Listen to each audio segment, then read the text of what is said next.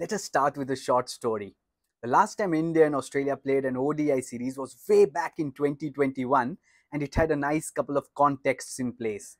For starters, it was part of the ICC Women's ODI Championship that year and also each match had points at stake because that series was part of a large multi-format series.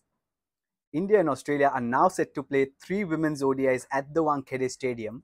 They are not part of the Women's ODI Championship. They don't have points at stake. What do we look forward to in them? Bring the Women's ODI World Cup 2025 into picture. These matches gain a lot of importance.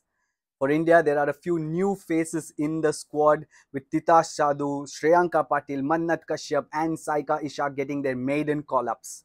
Ishaque and Shreyanka Patil have really done well in the WPL, whereas Mannat Kashyap and Titash Sadhu were part of the Under-19 World Cup win for India, which was in T20 format. How do these players do in the 50 overs? That is one point to look forward to. Richa Ghosh, she wasn't part of the last ODI series that India played, which was in Bangladesh earlier this year, their only ODI series in 2023. She returns in place of Uma Chhetri, the backup wicketkeeper then and it this series will also mark the return of uh, Renuka Singh Thakur to the white ball formats.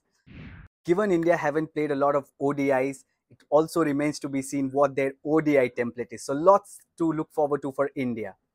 For Australia, again, it's life after Meg Lanning. This is the first series for Alyssa Healy as full-time uh, captain of Australia.